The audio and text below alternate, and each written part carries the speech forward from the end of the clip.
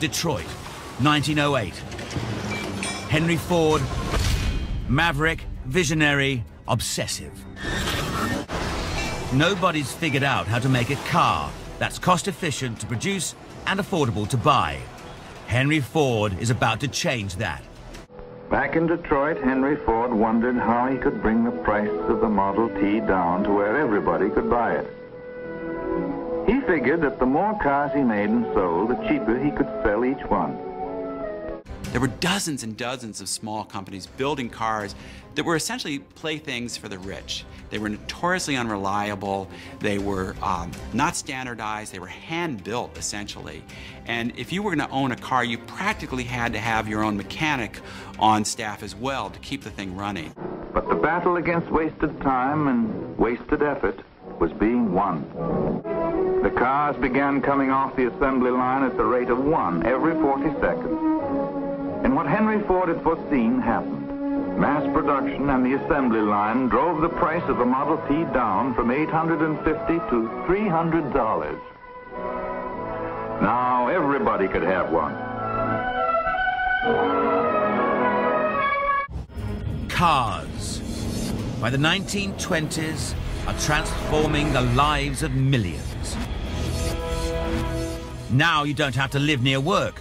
Cars create giant suburbs. What Henry Ford developed was the car for the common man.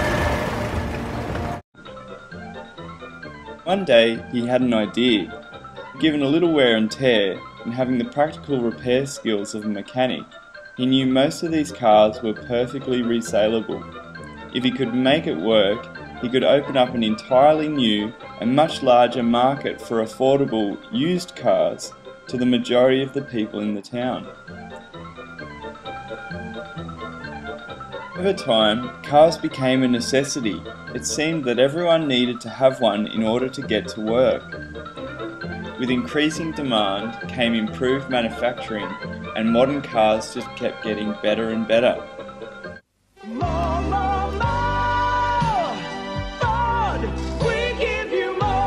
With more big factory bonuses from Ford, your Ford dealer can give you even more. His used car business had facilitated a sharing of prosperity offered by a car that seemed to flow right through the community to some of its very youngest members. But there was a consequence that had developed as all cars became more modern and expensive. Because everyone needed a car and the market for reselling a used car was much more certain, people became more confident in taking on larger and larger car loans. He soon discovered he could influence the sales price of cars and push them up by reducing the number of cars for sale in his car yard. So then, what does it mean for society when scarcity, either produced naturally or through manipulation, is a beneficial condition for industry? He started to let financial demand compete with practical demand. This obviously increased the demand for all small hatchbacks, which is why he needed to give first car buyers a cash grant to help them afford their first car.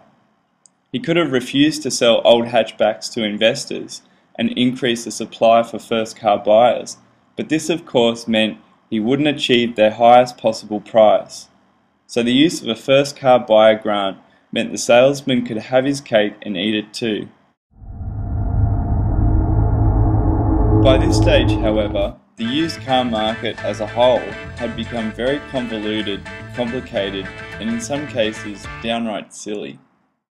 It seemed car owners were much less certain where the value of their car actually stood at this time. They had felt much more confident about their car's price when there was plenty of turnover in the market that acted as proof to them. The whole idea of a luxury hatchback was a bit of an oxymoron, really. The banker too was concerned about the possibility of falling car prices. Potential first home buyers were seeing proof there wasn't a shortage of property for sale, just a shortage of property at an affordable price. The salesman had essentially gone from an industrial capitalist to more of a financial capitalist. Something is always happening.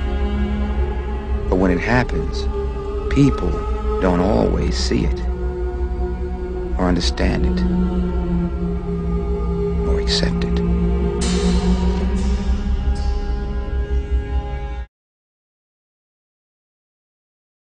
The system has to fail. The system has to fail. Has to fail.